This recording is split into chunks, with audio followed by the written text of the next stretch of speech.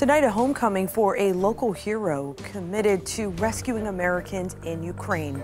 This just hours after the wife of the country's president spoke to members of Congress here in the U.S., pleading for more weapons and support in the fight against Russia.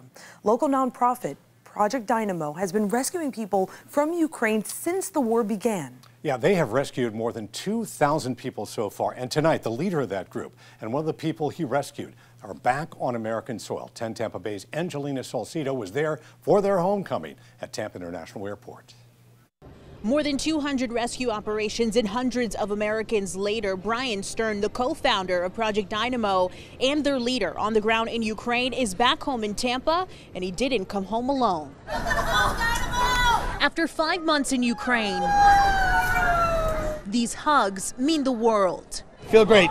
Feel great. I've been on the road 156 days. Stern has been in war-torn Ukraine since February. Before that, Project Dynamo was in Afghanistan trying to rescue any Americans left behind by the U.S. All these different stories are very sentimental to me because we're there with them. I'm not making phone calls coordinating rescues from my from my my house in Florida. We're on the street. As Russia continues fighting to capture more territories in Ukraine,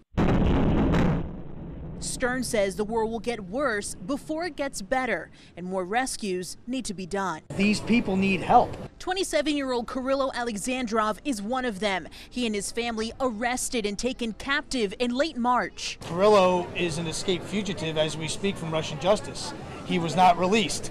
We stole him. I was in captivity 37 days, terrified, in pain, worried. Kirillo says people next to him were raped and he saw executions. Dynamo rescued him in early May.